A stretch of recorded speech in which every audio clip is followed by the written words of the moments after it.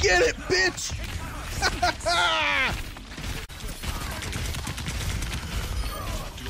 Eat that fucking shit.